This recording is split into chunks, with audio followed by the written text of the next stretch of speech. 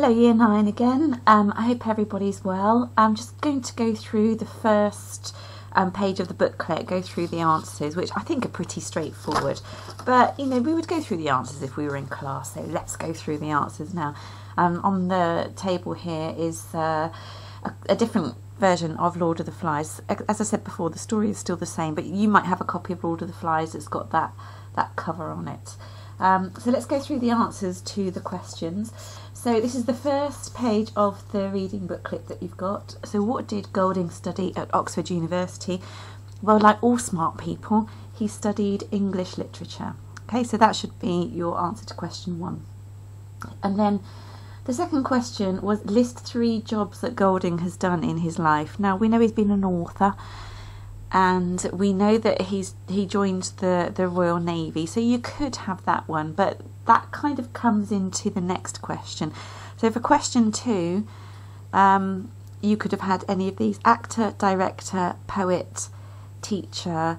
Um, I put Navy in brackets because it kind of answers the next question but it's, it's still not a wrong answer and obviously being an author is not a wrong answer either. So you could have author as well Okay, so what did Golding do in 1940? Well, he joined the Royal Navy, which is what I told you in another video, and that's how he got to see firsthand so many atrocities, so many things that man is capable of doing to his fellow man.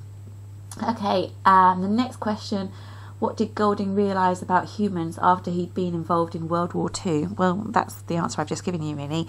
Um, how evil they could be to one another. That doesn't really fully answer the question. Um, what did Golding? Yeah, what did Golding realise about humans after he'd been in World War Two? How evil they could be to one another.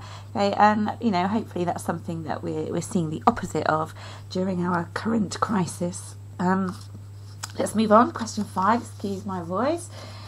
Um, how many publishers initially hold on, I'm just going to double check that I've got this right. How many publishers initially rejected Lord of the Flies? I was about to say Lord of the Rings. Um, more than 20 is the answer to number five. So he had a bit of a J.K. Rowling situation going on. Um, it's funny how it became a prize winning book and yet 20, more than 20 publishers rejected it to begin with. I wonder if it's because it seemed a little bit difficult to, to come to terms with so close to the end of the Second World War? Don't know. Right, the next question is how did the boys end up marooned on the island? Well, I touched on this in a different video. Um, their plane is attacked and crash lands there. Okay, so this, this doing the answers in this way gives me the opportunity to say a little bit more about them.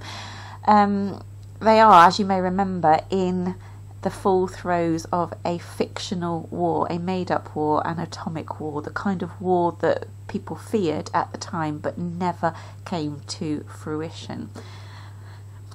Right, question seven. Um, what ideas does the novel explore? What idea does the novel explore? It's basically human evil.